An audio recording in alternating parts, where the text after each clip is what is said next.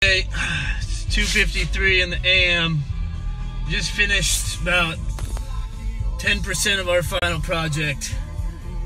I just keep telling myself, the pain will be worth it. Rania knows what she's talking about. At least I hope so. challenge I faced was just being given like this like really large amount of work and not knowing how to tackle it first. Um, so one thing that I, I learned to do um, for each lab was to set like daily goals for myself, um, and that way I can complete each lab on time.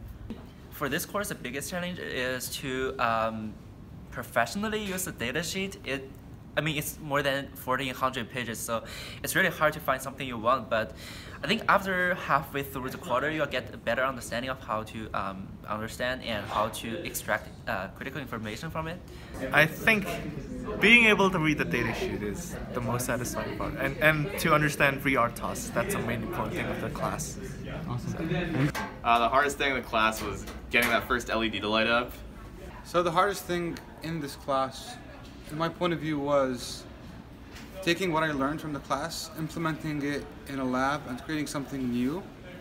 And by the end of the class, we were able to make a whole car with a couple of different models, and that was kind of cool.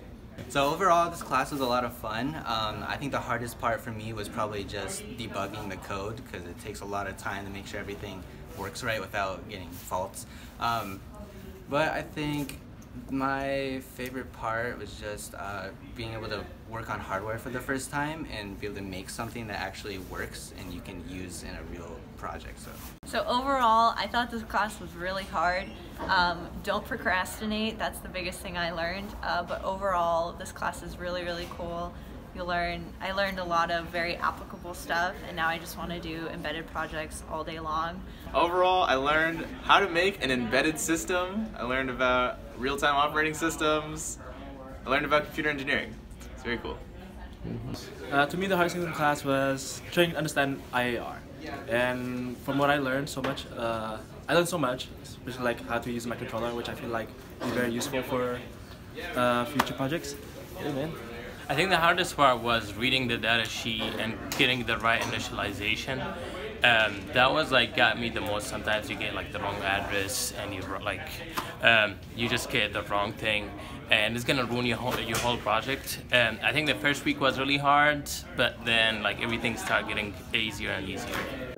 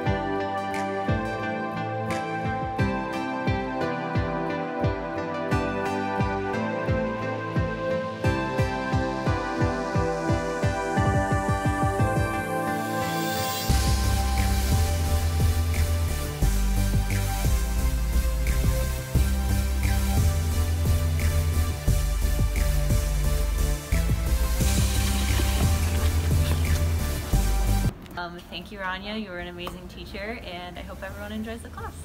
Thanks, Rania. Uh, thank you, Rania, for everything. Thanks, Rania. Thank you, Rania. Thank you, Rania. Thank you, Rania.